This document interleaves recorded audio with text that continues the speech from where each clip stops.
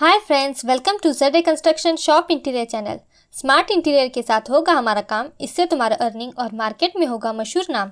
Cafe का 360 degree video में आपका स्वागत है। इस वीडियो में आपको रियल एक्सपीरियंस मिलेगा और इसी वीडियो में इसकी प्राइसिंग की भी बात करेंगे तो वीडियो अंत तक देखिए। ये वीडियो हमने सब्सक्राइबर के लिए बनाया है। जिसने भी हमारा चैनल सब्सक्राइब नहीं किया है, जल्दी से चैनल को सब्सक्राइब कर दो और बेल आइकॉन को प्रेस करो ताकि ऐसे ही इनोवेटिव वीडियो आपके लिए लेकर आएँगे। हमारे इंस्टाग्राम चैनल को भी फॉलो कर दो। फिंगर टच से स्क्रीन को मूव करके आप वीडियो को देख सकते हैं।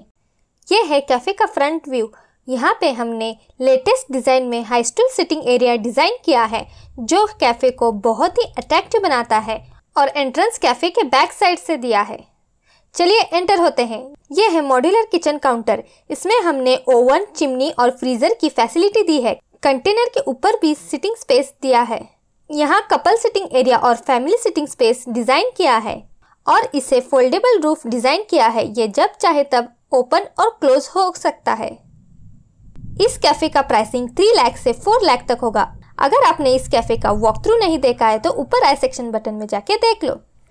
इस कैफ़े का डिज़ाइन अच्छा लगा है तो प्लीज़ लाइक शेयर और कमेंट कर दो। और हाँ चैनल को सब्सक्राइब करना मत भूलना। Thank you for watching my video